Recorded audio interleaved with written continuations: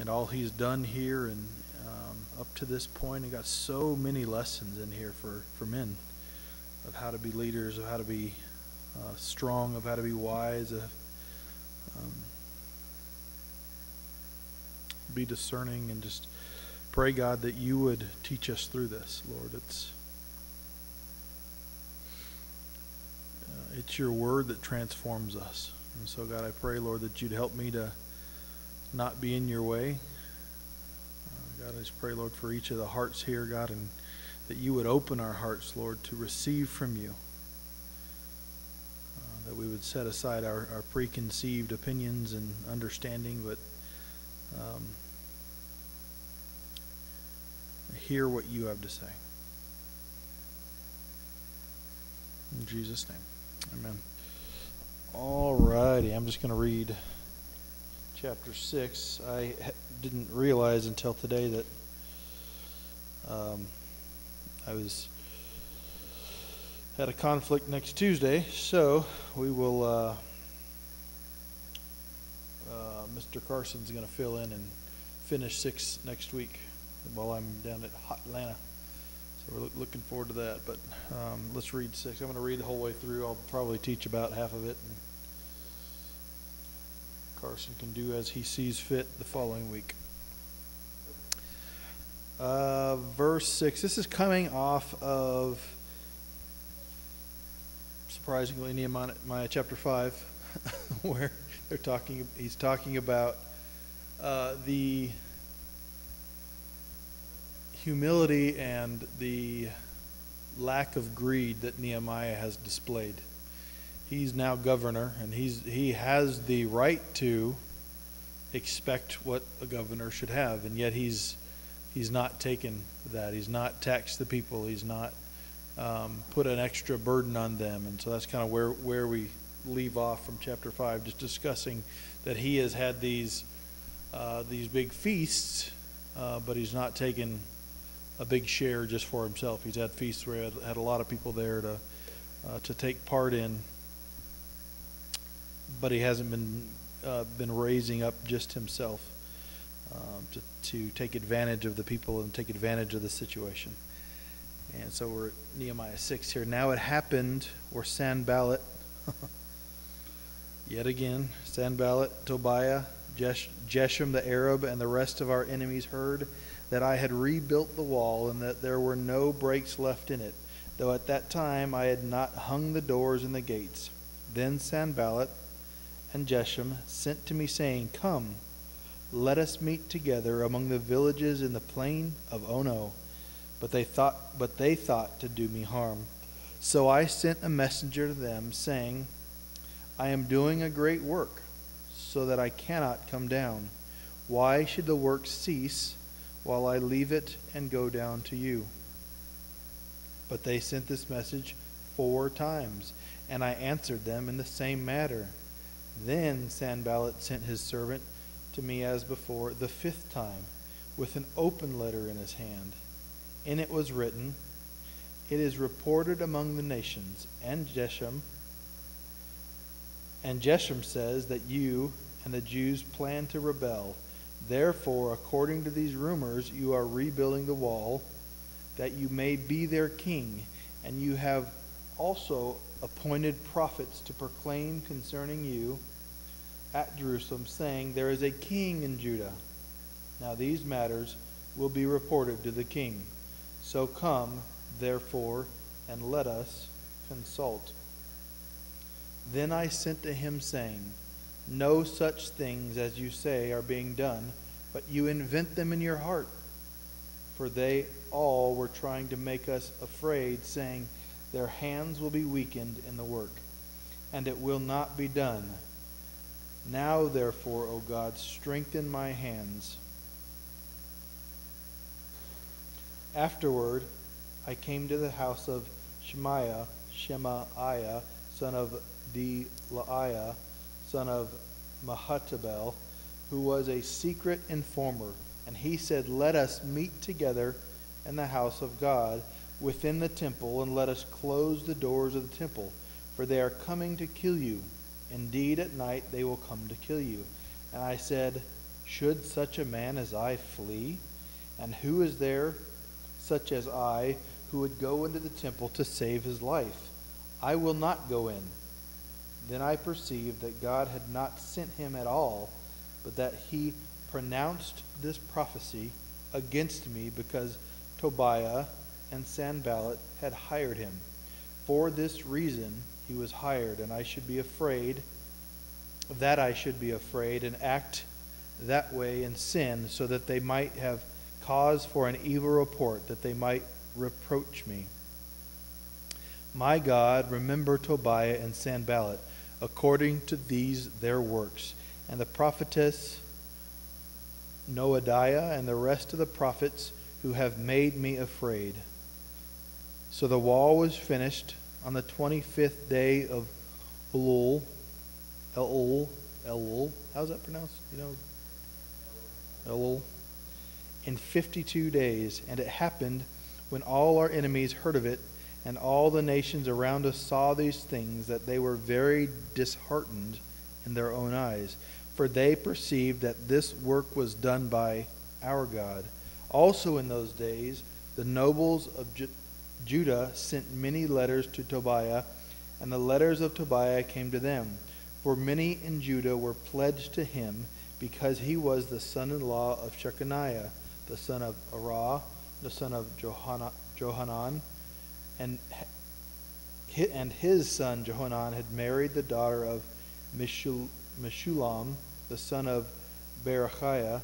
Also they reported his good deeds before me and reported my words to him.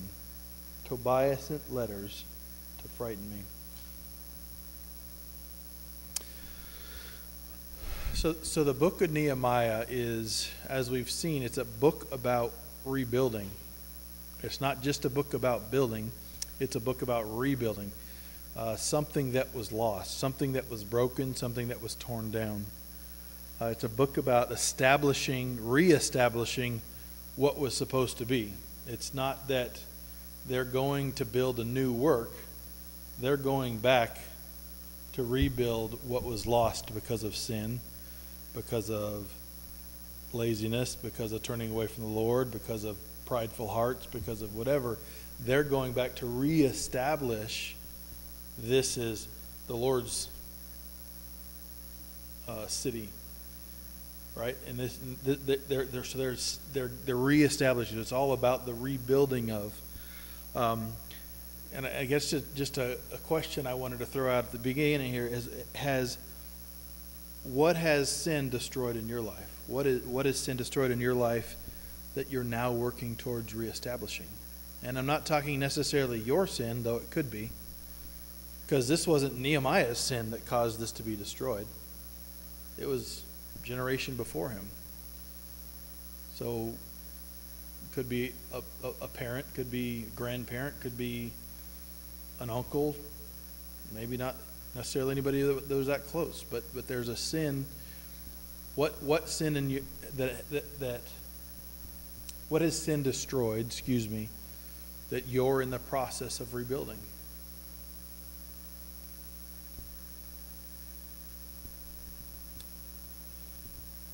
And understand that as you rebuild that, there will be attacks on that. It's not as though you know the enemy is going to stand around and as you rebuild that, oh, that, that's nice. That's that's nice. Oh, that that wall looks good. Oh, your faith is coming along really well. That's nice.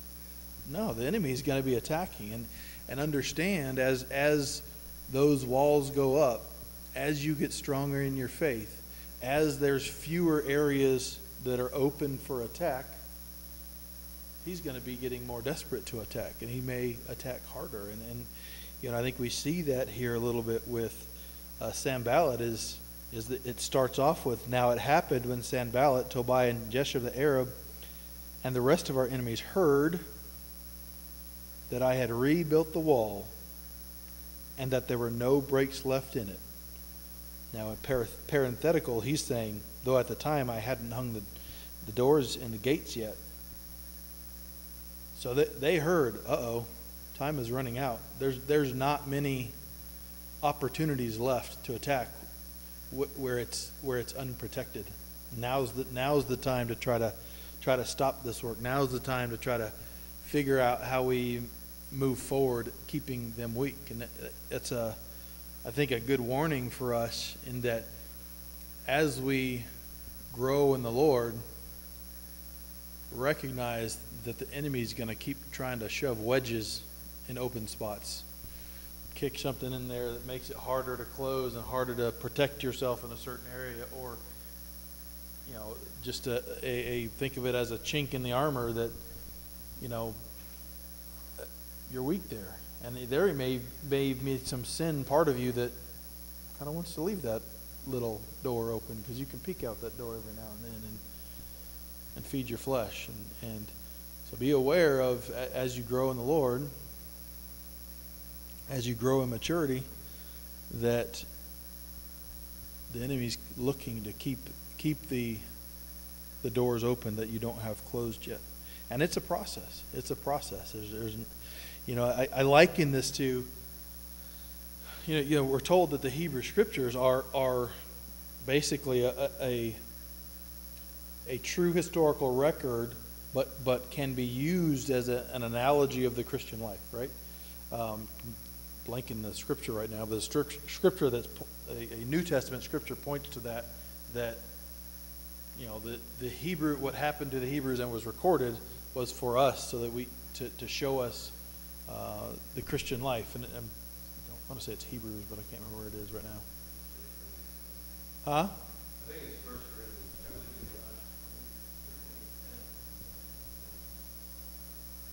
Corinthians. It, it is. I couldn't. It's in that Bible thing. Hold on one second. I just want to look that up. First Corinthians 10.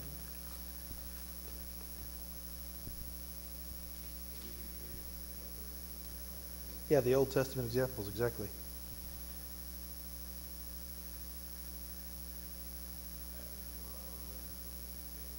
Which, which, which, uh, verse was that? Happened for that, that's the one I was looking for.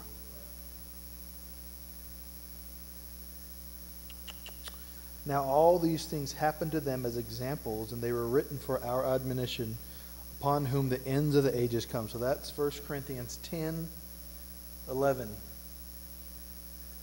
Um, Therefore, let him who thinks he stands take heed lest he fall. And so, you know, this this is kind of an analogous. I think it is meant to be analogous for us for us in the Christian in our Christian walk, right? And and so, but also us as as you think towards as we age, as we step towards eternity, as we step towards, you know, whenever that last day is, it doesn't get easier. We we kind of have a, a mindset that our walk with the Lord should be easier. Faith should get easier as as we get older. And you know, there's a um, there's, there's a there's a quote from a man, Alan uh, Redpath. So the Christian life does not get easier as one gets older, and it's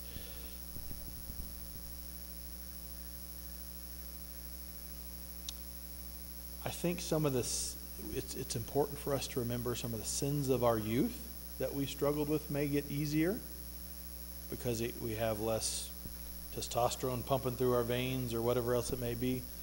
But, but th- those are traded for much more difficult sins to deal with pride, pride in our, our knowledge, you know, pride in our, our vast accumulated wisdom that we think we may have as, as, we, as we get older. And so it's, it's an important thing that we continue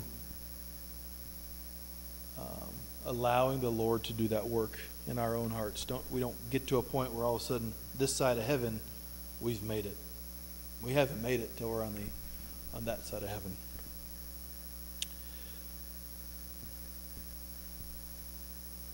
I think one of the things to, to continue to remember um, is if you are finding yourself surprised that you're still struggling with sin, you should not be. It's you haven't hey, I've all of a sudden been, you're going to still struggle with sin. And keep, keep trucking, keep going, keep, uh, and, and even sometimes a particular sin that we feel like the Lord dealt with that back there. Why is that? Why is that here again? You know, and so, so be aware of those things. Um, verse two. Um, I had rebuilt the wall, and there were no breaks left in it. That Sanballat and Geshem sent to me, saying, Come, let us meet together among the villages in the plain of Ono. But they thought to do me harm. First of all, if somebody asked you, let's go meet in the plain of Oh probably not a good place.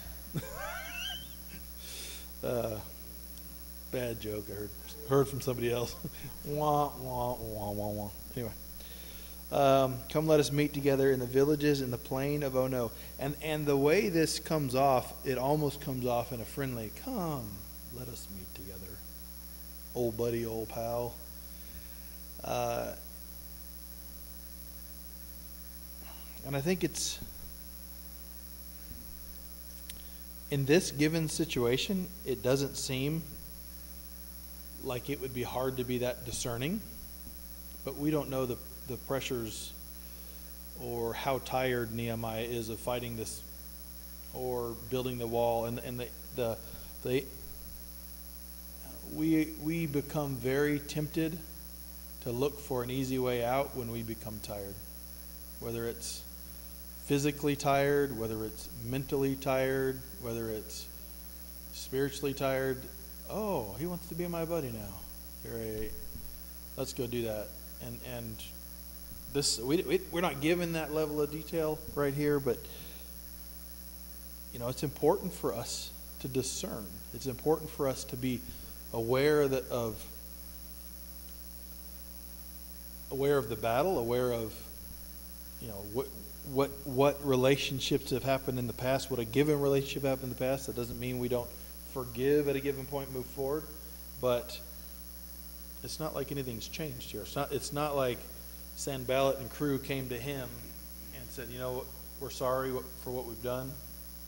You know, can we start a new thing here? No, they just they just trying a new new tactic. Let's come. Let us meet together, friends, neighbor. But but he obviously but he obviously discerned that they meant him harm.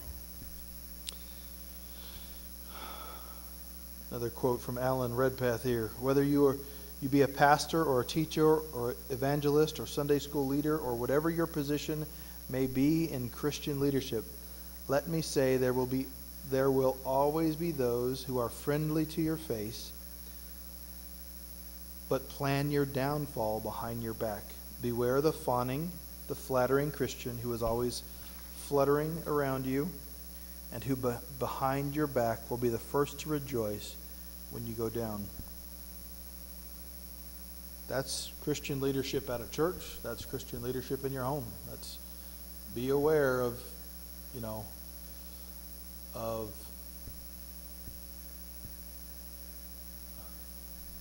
particularly those who are flowery with their words are always you're so wonderful and you're of course we like people that tell us we're wonderful so it's easy to fall for that. It's easy to understand that that building up but it's be, be aware there's people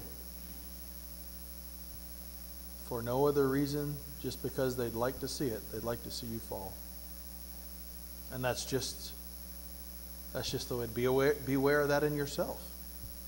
If you if you see somebody else being successful, be it business, somebody else that the Lord has raised up in ministry, and you and you are jealous or envious and don't like their position, and you uh, maybe smile in their face but talk behind their back, be aware of that. That's there's not a single one of us in here who hasn't fallen to that temptation, I guarantee it. So be aware of that. Be aware of that, you know, desire and, and that evil temptation to want to tear down somebody else. And we must be discerning as leaders and recognize that that is, that is a potential. That is something that those who call themselves your friends, your allies, could potentially be actually trying to do. Discernment is what? Able to see danger in a friendly situ- in a, in a friendly situ- situation. Discernment is also being able to see good in a bleak circumstance. So a lot of times, I, I'm I'm pretty good at, at discerning, or what I may call discerning, but I'm pretty good at seeing the bad in every situation. That's that's a gift. That's why I said discerning. I'm, I'm good at seeing the bad in every situation. I, I can see the black cloud in anything. But there's a just and there is some of that that is discernment. You need to be able to look at you know look at a situation and recognize that there's it's not always what it seems to be. But the other side of that is discerning is also recognizing the good in a, ba- in a bad situation, recognizing what what the Lord may be doing in a bleak this doesn't look good. Wonder what's God. Wonder what God's doing, and looking for that. That's also discerning. So, um, I think it's important that we recognize discerning is a is a two way street. It's it's discerning is seeing a situation that that from a spiritual standpoint, discerning is seeing a situation that looks one way to our eyes, but the Lord impresses on us this is something else. This is this is what He's doing here. He's saying, "Hey, hey, buddy, pal, let's meet in oh no." No, they they mean for harm here. They what they're saying is nice. We go on here to verse verse three, and they're saying, I mean, they, oops, jumping at no, verse four here, and they ask over and over and over and over four, four times. This is this is not a short distance. They're walk they're walking or you know, there's a long way that they're having to travel. Four times they go back and forth asking you, come on, just come on, come on, come on. Will you just meet us? Come on. But no, he's like, no, I'm busy. I'm busy. Verse 4, verse 3, excuse me. So I sent messengers to them saying, I am doing a great work, so that I cannot come down. Why should the work cease while I leave it and go down to you? Doesn't that kind of sound a little arrogant to begin with? I'm doing, hey, I'm doing it. I'm doing a great work.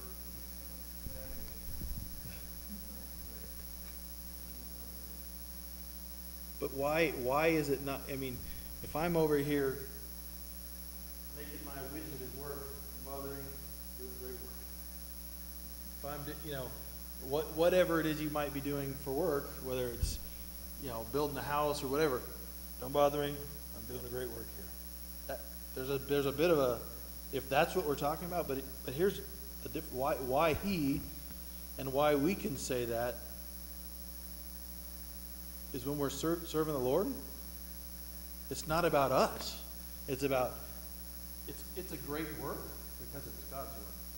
That's what makes it a great work, not my skill and awesomeness that I brought to the table. Though it's important to bring your skill and learning and understanding to, to bear on whatever the work God has given you, it's not about you. It's about God's work is great. God's work is good. And it, this this is what Nehemiah recognizes. I'm, I'm doing what yeah, God's why would I come over there when God's told told me to be here? He told me to build this wall. Why would I be over there? I am doing a great work so that I cannot come down. Why would I come do something less important and stop what is more important? Ouch. Why would I do something less important and stop what is more important?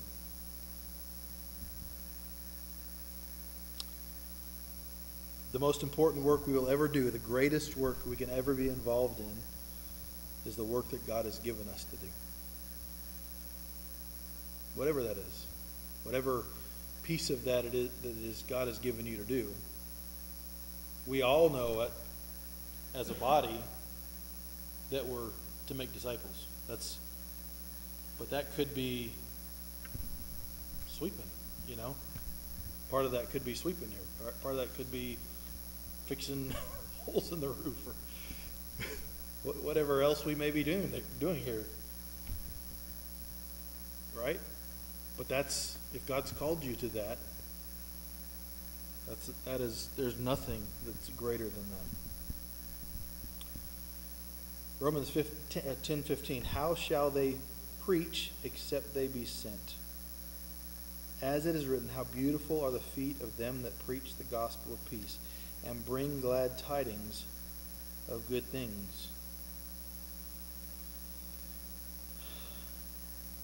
We are to make disciples, which requires the gospel to go forth, which requires preaching to happen. For preaching to happen, there's got to be a sender. So there's people. There, the, uh, what I love about this verse is that it, there's people at every at every part of the gospel going forth. There, there, there are those who are the, the front line, and I'm not, and I'm not excusing any of us.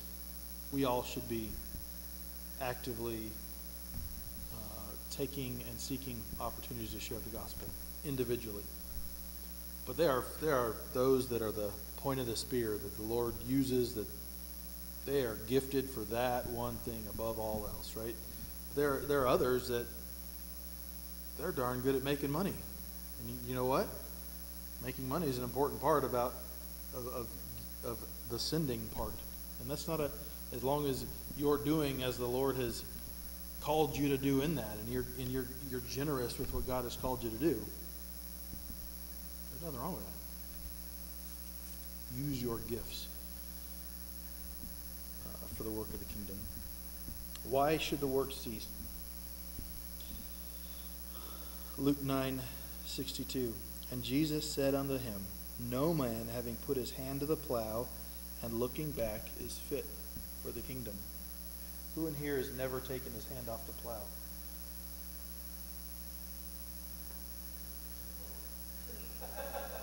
Was that? I'm Not there yet. So, I mean, according to the Lord's word, nobody fit? We never were fit. We never were fit. It's all, it's by grace. But but the point being is that we should be we should be serious. Jesus is serious about that. Serious about let's get to work and let's stay busy and let's do this. It's not uh, we shouldn't be wasting time. And, it, and it's uh, I just love how this how he says it. I'm doing a great work. I can't come down there. Why should the great work I'm doing cease? We're doing a great work. We're, we're reaching the world with the only really good news there is. Right? Don't get tired of that, man. I'm speaking to me. I've been tired of that. Don't get tired of that. Let's not quit a the greatest work just for, you know, something less. Verse 4.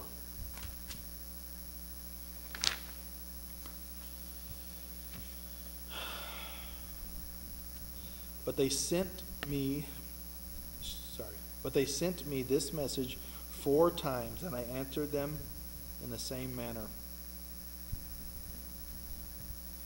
Again, to think of, it's one thing to send an email four times, right? But it's another thing to pack the supplies and the people and the maybe, you know, camels and whatever else was involved in sending a message four times. I mean, this is no small feat. That's that was months worth of travel, and I, mean, I don't don't exactly know, but that's that's a long. They were trying to get his attention. They were trying to, hey, hello. I know you're trying to finish that over here. Hey, let's meet over here. Oh no, no, no. And yet he didn't even he was faithful during that whole time. Whatever whatever that length was, he was faithful and consistent. He discerned at the beginning this was not good. He didn't get sick of hearing it at one point. Fine, fine, we'll meet. No, he was he heard from the Lord. No, I'm not going to stop my work to meet them. And they asked again, no, I'm not going to stop my work. They asked again, no, no, no, I'm not going to stop my work. And every time he said no.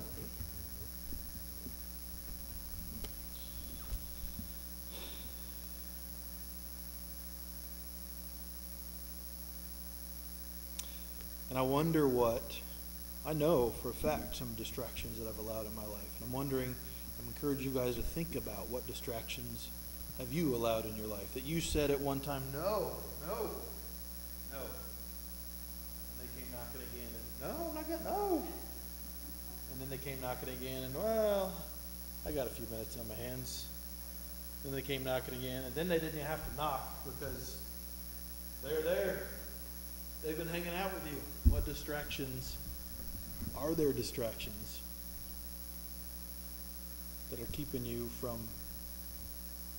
doing all the work that you can for the Lord? I, absolutely in my life, absolutely.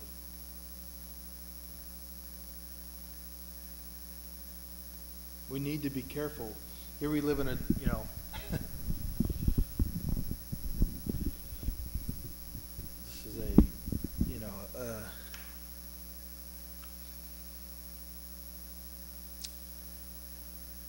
Hollywood is a Hollywood is evil if you don't know. They are they are they are the point of the spear for the enemy. They are very much about sending a message, driving people away from Christ. And yet how much time do we answer that doorbell, that message, hey, hey, let's go meet on the couch. Let's go meet wherever. And spend time talking. Spend time being distracted by the message I want to send you. Because Hollywood doesn't do stories anymore. They do messages that they wrap stories around that are constantly trying to drive a wedge between us and Jesus, between our kids and Jesus. Be aware of that. Be aware of that. James 4 4. You adulterers, don't you realize that friendship with the world makes you an enemy of God? I say it again. If you want to be a friend of the world, you make yourself an enemy of God. This is not talking about going to make friends with people who are of the world. That's not, that's not, this is talking about this is the world system. Yeah, kind of okay with it. Kind of like it sometimes. Right. Feeling weak in the flesh or strong in the flesh as it may be. Those are not the world and God are not compatible. They're not compatible. Verse 5.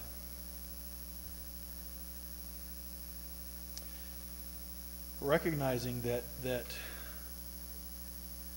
if there's anything we can say for old Sandy, that guy is, is not a quitter. He just changes tactics. He just, well, that didn't work. Let's try the next thing. So here he is again. Then, then Sanballat sent his servant to me as before, the fifth time. This, this time he sent it with an open letter in his hand. In it was written, It is, it is reported among the nations, and Geshem. Oh, sorry. It is reported among the nations, and Geshem says, and. this is funny to me. And Geshem says, so. I don't care what Je- I don't care what says. It is reported among the nation, and Geshem says that you and the Jews plan to rebel, and therefore, according to these rumors, you are rebuilding the wall that you may be their king. And you have also appointed prophets to proclaim concerning you at Jerusalem, saying, There is a king in Judah. Now these matters will be reported to the king. So come, therefore, let us consult together. So he's trying to, you know, pressure him to meet. You know, I mean, I'm not saying it's true, but word on the street is everybody's saying, right? I mean, it's, he's, this is ridiculous almost. It's fake news.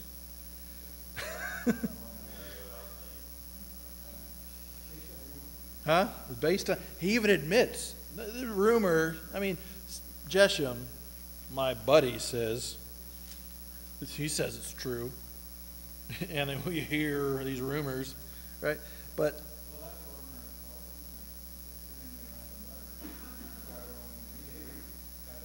right. The whole per- this is This is propaganda. Part, this is very much a propaganda campaign, trying to get other people to, to turn on, I mean, and you kind of see this throughout. There, he's very much running a propaganda campaign against Nehemiah. Huh? Sounds very familiar, doesn't it? Collusion.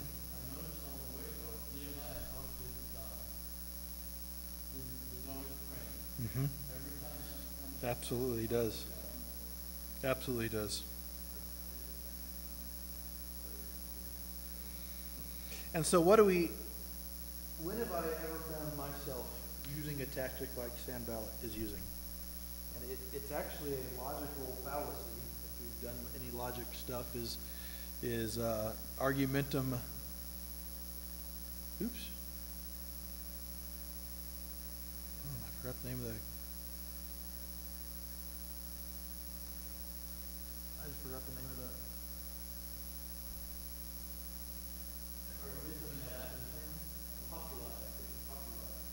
It's basically, uh,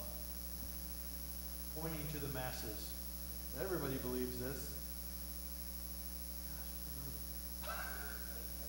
It, it went, do I have it in my notes?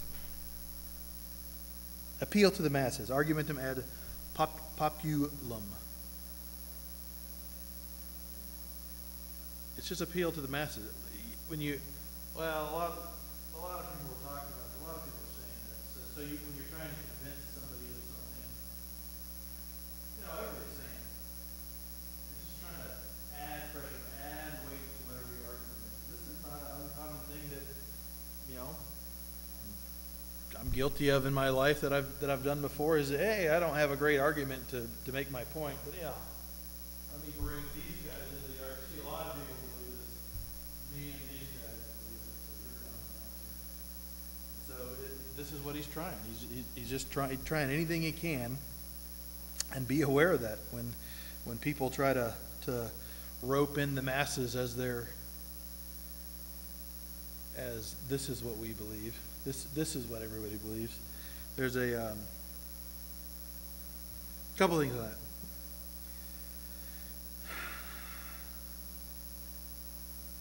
So the, so the rumor is, most people seem to think you're building this wall to raise yourself up as king and to rebel against King Artie, right?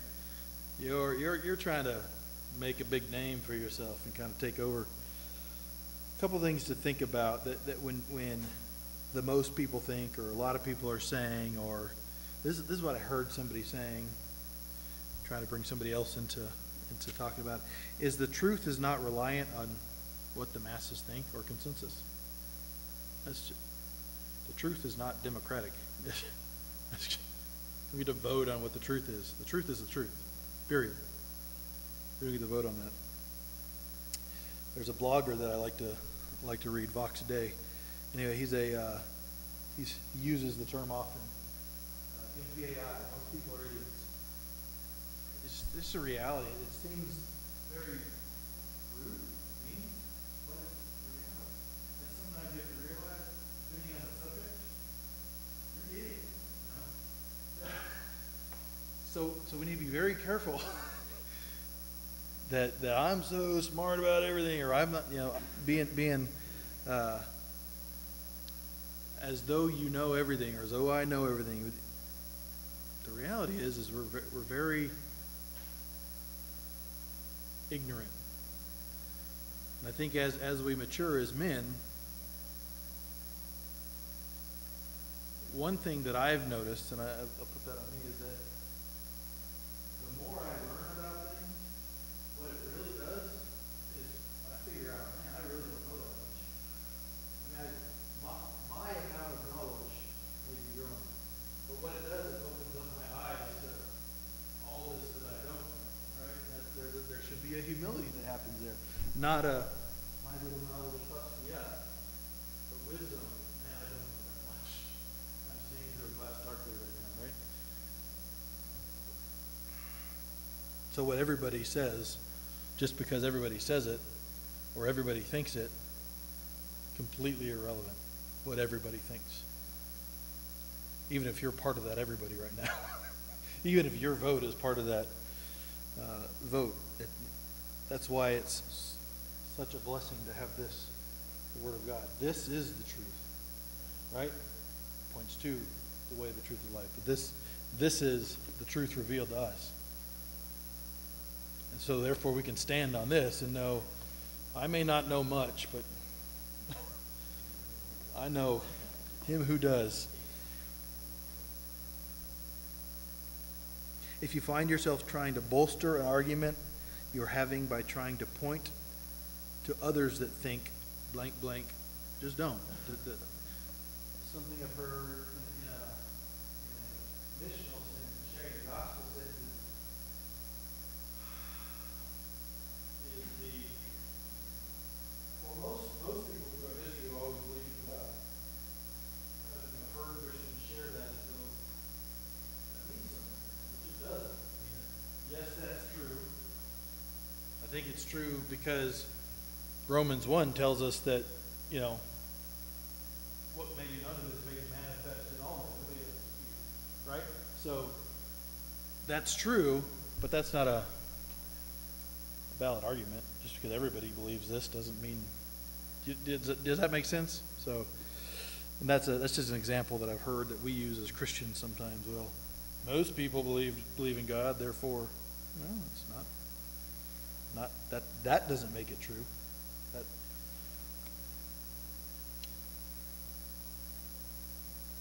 Verse eight. What time we? So far we're on so we're going on to five.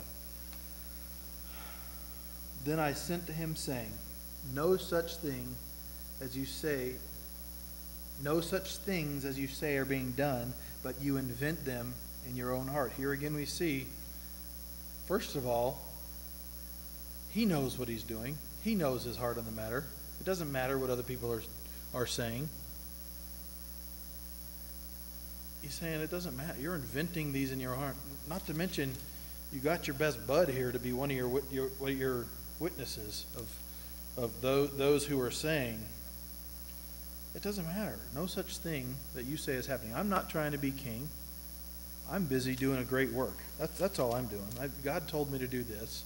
It doesn't matter what you think my, my motives are for doing this. I'm doing a great work, and I'm busy about the Lord's work. And I don't care what you say about it. I don't care what you do about it. I'm going to continue doing the Lord's work.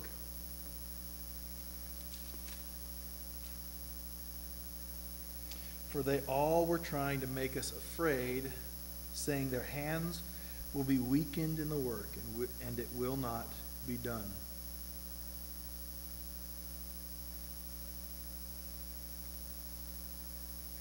In the tongue, we have the power of what?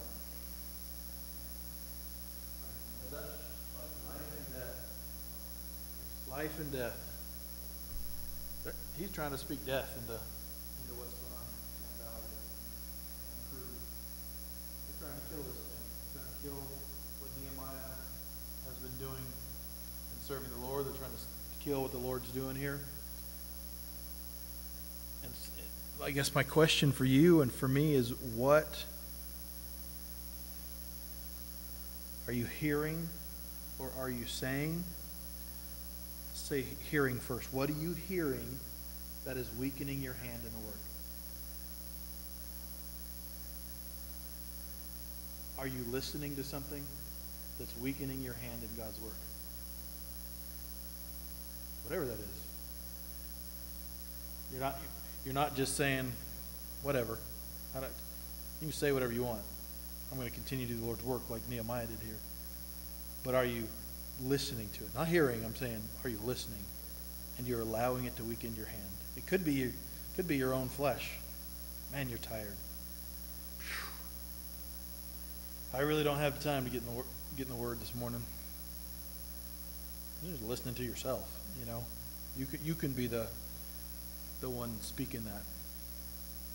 And also, what are you saying that might be weakening somebody else's hand at the work?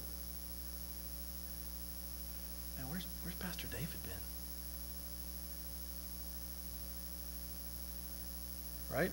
We can we can somebody who's a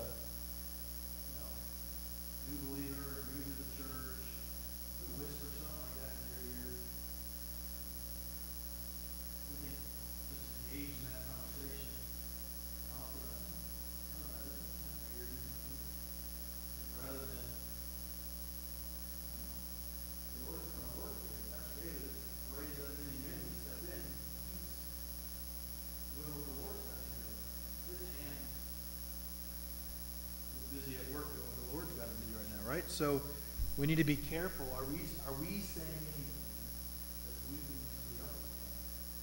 Or We discourage, it could be super spiritual. So we're good sometimes at saying super spiritual things that are not spiritual. Maybe it's